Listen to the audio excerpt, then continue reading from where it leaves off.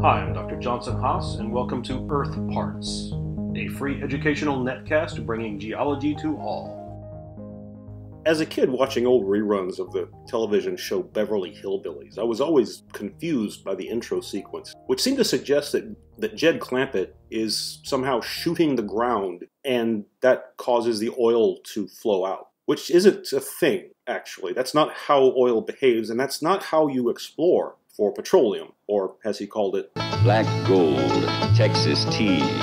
Petroleum is a fossil fuel, and like other fossil fuels, coal and natural gas, they are literally fossils. They are the remains of ancient life forms that have been preserved in sedimentary rock over time, and by heat and pressure and slow chemical reactions over geologic time, have been rendered down not to a fossil we can recognize as an individual fossil of a shell or something like that, but as a material, a bulk material, made up of the rendered residue of trillions of organisms, in this case plankton. Petroleum largely comes from plankton. It comes from the ocean. Warm tropical seas, sunlit waters, where there's lots of growth, lots of plankton, phytoplankton, algae, perhaps a river depositing into the ocean uh, sort of like the Gulf of Mexico, which is a petroleum producing region. Petroleum is forming right now at the bottom of the Gulf of Mexico, where the Mississippi River has dumped out and continues to dump out immense volumes of sediment from the land surface, from the continent, mixed with plant remains, dead leafy material, bits of dead tree and root, as well as soil material. And this stuff, when trapped with the plankton of the Gulf of Mexico, trapped in sediments as they settle to the bottom, as they collect up, as they become progressively buried in the sediment, time, pressure, and eventually heat begins to alter this material and break it down. The cell walls, cell membranes of microbes, of plankton, of algae trapped in that sediment are going to rot, but in the absence of air. In the absence of oxygen, it's anaerobic decomposition instead of aerobic. Aerobic decomposition would have turned that stuff back into CO2 in the atmosphere if it had had a chance to rot at the Earth's surface. But if this algae and plant material is trapped in sediments away from oxygen, it will rot by anaerobic bacteria decomposing it, taking their food value from it, and breaking the material down in the process from what started out as carbohydrates, lipids, starches in the biomass is altered and rendered down to simpler compounds that contain only carbon and hydrogen for the most part. We call these hydrocarbons. A carbon bonded to another carbon, bonded to another carbon in a long chain where the extra bonds are all taken up with hydrogens or branch off to other carbon chains. And that's what petroleum is. Mature petroleum is a mixture of hundreds of different hydrocarbon molecules of varying lengths. That is, they have different numbers of carbons in those chains. A hydrocarbon can be as simple as methane, one carbon surrounded by four hydrogens, not bonded to anything else. And of course, methane is the principal component of natural gas, another major fossil fuel. Longer hydrocarbon chains with two, three, four, six carbons, eight carbons, longer, form the rest of the petroleum mix. And as the hydrocarbon chain gets longer, it becomes less like methane, which is a gas at room temperature. It becomes heavy enough that it doesn't easily evaporate, and at room temperature might be a liquid, or at room temperature might even be a gel or a solid. And we make a lot of use out of all these different hydrocarbons in petroleum. And I'll come back to that. But one of the principal importances of petroleum is not just a place you get gasoline, but it's a material from which you get a lot of stuff that performs a lot of functions in our civilization. But it starts off as plankton. It starts off as algae in warm, sunlit tropical water. And if you look today at where petroleum is forming, it is in marine ocean habitats where there's lots of river bringing material in, or there's lots of planktonic growth and algae flourishing in the waters. As this stuff settles to the bottom, is the source material for petroleum. If you look at places today that have a lot of petroleum but don't look like that, it's because it looked like that a long time ago. The Middle East, famously, much of which is hot, dry, desert, sand, was not that way when the petroleum underneath its sands was forming. It was a warm, tropical, watery environment, a marine setting with lots of sunlight and lots of planktonic growth. That's why today those sediments still lay down in the rock and they still trap the fossilized, in this case as petroleum, remains of plankton from long ago.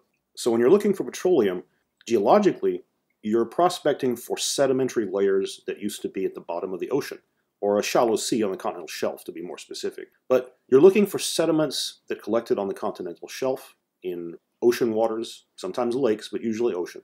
And that's why you can't find petroleum just anywhere.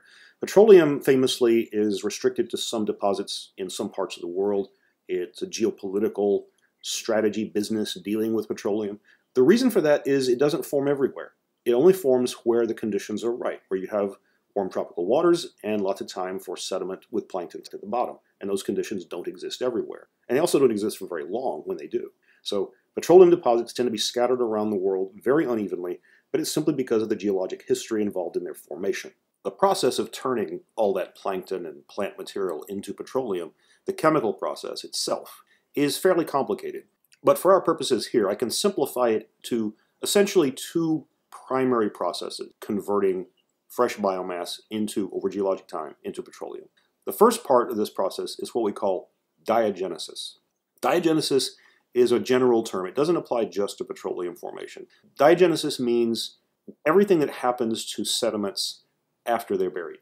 Fresh sediment being buried by sediment that deposits later above it, and then it's compressed down, the water is pushed and driven out, the grains are pushed together, and the biomass in there is rendered down at first by other bacteria, by anaerobic decomposition, anaerobic bacteria in the absence of air.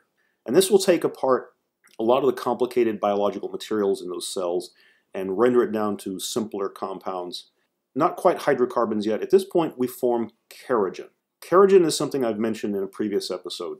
It is the dark residue of organic matter you can see in, say, a black shale. If you open up the layers of a black shale, if you look at a sample of it, it's dark, it's black with organic matter in the rock. It's mixed in, embedded with the sedimentary mineral and rock particles. And kerogen is not a very good fuel because it tends to be fairly distributed. Uh, black shale may only contain a few percent organic matter as kerogen. We don't really use that as a fuel directly. However, kerogen is the result of diagenesis. Catagenesis follows diagenesis. At geologic depths of about 2 kilometers, about 2,000 meters deep, and temperatures ranging around 50 to 60 Celsius, up to those temperature conditions and pressure conditions, that's when diagenesis takes place and you're forming kerogen from organic matter. At higher temperatures, going up to about 90, 100, 110 Celsius, at depths of down around 3 or 4 kilometers, under those conditions, catagenesis takes over and mature petroleum can eventually form. Now, interestingly, petroleum is not a particularly stable material, and if you go outside of those temperature conditions, you can destroy it. In fact, those conditions that I just described, depths of around 2 to 4 kilometers, temperatures around 60 to maybe 110, 120 Celsius, that's what geologists call the oil window. If you bury petroleum deeper than about 4 kilometers, and if temperatures go above about 120 Celsius, you're outside the oil window and the oil will begin to crack. Cracking is a term that's used to describe when a heavy, large hydrocarbon molecule is essentially broken. You break it in half or you break it into smaller pieces, forming smaller hydrocarbon molecules with their own different properties. So if you had, say, a hydrocarbon chain 30 carbons long and you cracked it, you could break it into two chains of 15 carbons each, or something like that. The conditions are going to vary. But essentially, when you start heating petroleum up above the oil window, the hydrocarbons begin to crack into smaller and smaller chains, and eventually forming natural gas. Petroleum will break down under high enough temperature conditions down in the crust, eventually cracking all the way into just natural gas. Simple hydrocarbon molecules of a few carbons in length, and nothing greater than that. So petroleum doesn't last forever. If there are cracks or fissures present or the rock is simply porous, oil will migrate from its source rock to other rock formations. The source rock is actually the name that geologists give to a layer of strata that, when it forms, forms with enough organic matter that it will eventually produce oil. It will produce petroleum eventually, but oil rarely stays in its source rock unless there is an impermeable barrier directly above it. Oil is a lot lighter than the rock around it. It's lighter than water even. And so if there are any fractures, cracks, or faults present, or the rock is simply porous enough, it will migrate upward under less and less pressure. It's trying to seek lower pressure because it's buoyant, compared to the material that surrounds it and encases it. So if there's actually an, a conduit to the surface, oil will migrate all the way up to the surface. There are many examples of this in the world today.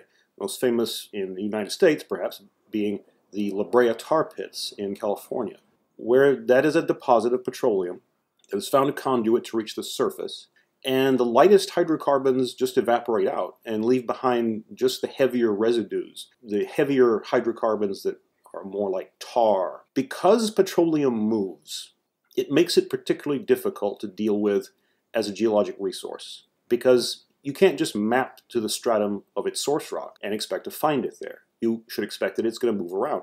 And so oil exploration has always been a risky business about trying to sink wells, hoping that you'll find a deposit of petroleum, but not being entirely sure. Because unlike coal or any other form of solid rock, petroleum is a liquid and will move around, and it's not clear sometimes where it has moved to from its original source rock. And so that's why geologists have, over time, tended to look for what we call structural traps. It's a trap! Arrangements of geologic strata and rock formations in the subsurface that tend to form a natural barrier to the oil in such a way that it will prevent the oil from moving anywhere else. One classic example of this is what we call an anticlinal trap. That is, a trap of oil underneath an anticline, a natural bend or fold in the rock that produces almost like a dome shape. If oil is migrating upward from beneath the strata of one of these anticlinal structures, then it will eventually reach an impenetrable layer in the anticline and will simply pool there. And geologists who are looking for oil, if they can identify this kind of structure and know that there are strata beneath it that are oil bearing or are likely to be, that's where you might send down a few test drill holes to find if there's oil there. Another kind of structural trap is what we would call a fault trap. That is, a natural structure where a fault has shifted the layers, and now the oil in the source rock, as it moves upward, encounters a shifted layer of impenetrable rock that it can't get past, and the oil will pool there as well. Another common kind of trap is underneath a salt dome. A salt dome is what happens when you have a layer of evaporite material, rock salt, among layers of other sediment. Rock salt is a pretty low density rock, and it can actually deform and be driven upward by its own buoyancy if the layers of rock it's surrounded by are soft enough to allow it to do this. What happens when a mass of salt rises in a dome like that is it's pushing the sediment ahead of it to some degree and out of the way. And on the flanks below the uppermost bulge of the salt dome are areas where, where oil can pool because salt is not particularly porous. It's soft, but it doesn't really easily allow oil to flow through. So salt domes are a classic form of structural trap that geologists have looked for for a long time. Once we have petroleum, we do a lot with it. It's not like coal that is essentially just burned for electricity. With petroleum, you take full advantage of the fact that there's a wide variety of different compounds dissolved in the mixture, and we separate them by temperature. Raw crude oil during distillation and refinement is heated up to high temperatures, 4 or 500 Celsius, in the absence of air so it doesn't burn. Under these conditions, most of petroleum becomes a vapor, except for the very largest hydrocarbon molecules of greater than 80 carbons or so, which fall out pretty soon to become roofing tar and road asphalt. Slightly smaller hydrocarbon molecules, around 70 carbons or so, fall out from the distillation process, giving you paraffin wax, candle making, fuel oil for ships, and fuel oil for large power stations as the petroleum vapor cools down through about 350 Celsius. Separated out from the mixture are motor oil, industrial lubricants. As you go down to lower temperatures, below 350 C down to about 260 Celsius, hydrocarbons of about 16 to 60 carbons come out of the refining process. And you get a wide range of stuff at this point. Light lubricants, diesel fuel, gas oils, petroleum jelly, and other hydrocarbon compounds of low utility value that are cracked into smaller hydrocarbons of greater value. At temperatures ranging from about 260 Celsius down to about 180, light hydrocarbons of about 10 to 16 carbons in length fall out of the refinement. This is where you get jet fuel, home heating fuel, kerosene. Below 180 Celsius down to about 30 Celsius. A range of hydrocarbons come out, including the major components of gasoline. And at that point, you're talking about hydrocarbons that are light enough to be pretty volatile. That is, they evaporate very easily. If you go to smaller hydrocarbons, from 1 to 4 carbons in length, things that condense out it's lower than 30 Celsius or so, you get natural gas, light fuel gases like propane, butane. So at the end of the day, essentially every part of petroleum is used, and it's not just for fuel, as I said. A lot of it is used to produce plastics, specialty compounds, industrial manufacturing goods, and the list goes on from there, and it's a long list.